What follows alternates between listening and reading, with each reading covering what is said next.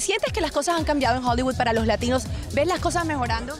Creo que hay una interesante, estamos en una interesante etapa, creo yo, que es importante que, que, la responsabilidad esté en la nuestra. Creo que tenemos que ponernos más fuerza en escribir material nosotros para nosotros, en poner nuestro talento afuera. Creo que podemos y tenemos la capacidad de cambiar las cosas más para nosotros aún más. He visto cambios pequeñitos, pero creo que podemos saltar más allá.